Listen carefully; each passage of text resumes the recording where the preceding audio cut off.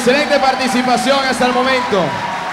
En este sensacional concierto, el tributo a Carlos Santana. Eso es sentir la música, de verdad.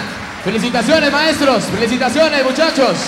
Yo quiero llamar por acá al escenario a don Marco Mora. Él es el director del Cinemi en lo que es San Carlos. Recibámoslo con un aplauso también a don Marco Mora.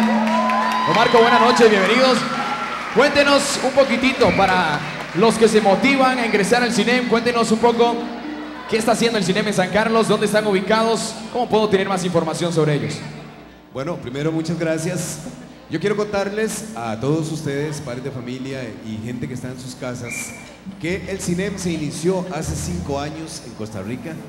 Eh, de estar en San Carlos tiene tres años y medio. Empezó en Aguasarcas, luego nos extendimos hacia Platanar y luego llegamos a Ciudad Quesada. Hoy día estamos, tenemos una población de músicos, de más de 500 músicos, más de 500 músicos entre Aguasarcas, Platanar y Ciudad Quesada. Y tenemos una, eh, eh, involucrados a más de 1.500 personas, entre padres, eh, músicos y profesores y la gente que quiera cooperar. Pero yo quiero hacer una pregunta, a ver, entre el público, ¿Cuáles, ¿Cuáles personas, cuáles niños o jóvenes hay ahí menores de 16 años? Levanten la mano. Levanten la mano los que son menores de 16 años.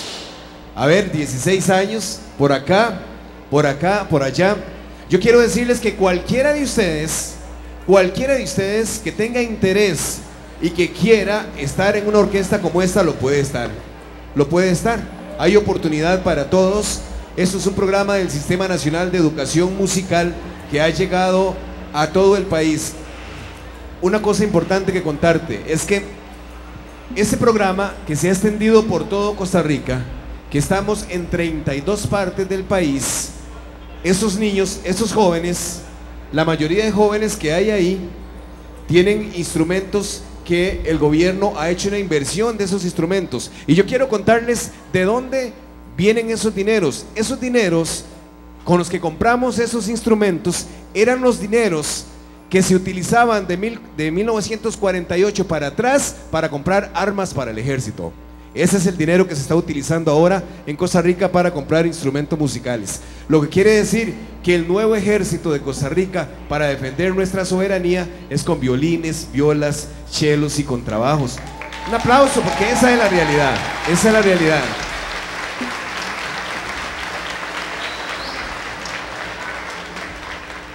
Nosotros hacemos para los niños que quieran ingresar, volvemos a hacer pruebas de audición en Aguasarcas, en Platanar y en Ciudad Quesada la segunda semana de diciembre. Recuérdenlo bien, segunda semana de diciembre, los niños que quieran ingresar están ahí. Los padres de familia que quieran ser guitarristas, los miércoles en Aguasarcas y los jueves aquí en el complejo cultural, ustedes pueden. El único requisito es Dos requisitos.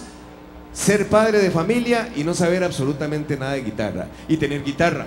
Tres requisitos y pueden ingresar porque queremos formar la más grande rondalla de todo el país para unirlo a esta orquesta. Entonces, 100 padres de familia tocando guitarras y la orquesta Paulino Porras sonando con integrantes de la orquesta Juan Santa María de Aguasarcas, Chico Castro, perdón, de Platanar, Chico Castro de Aguasarcas y la Orquesta Sinfónica de Cuerdas de Ciudad Quesada. Entonces es una bendición de Dios lo que nos ha pasado.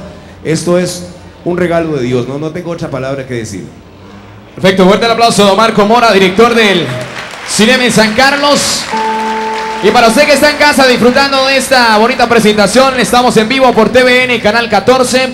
Es el concierto, el tributo a uno de los grandes, a don Carlos Santana. Dentro de ellos, el repertorio que el día de hoy la directora Carla Chacón les ha traído a todos ustedes. Y lo dejo también en manos de esta espectacular presentación de don Alejandro Pérez Urrutia. Bienvenido a San Carlos, esta es su casa, este es el cine. Y regalémonos un fuerte aplauso para que siga su presentación.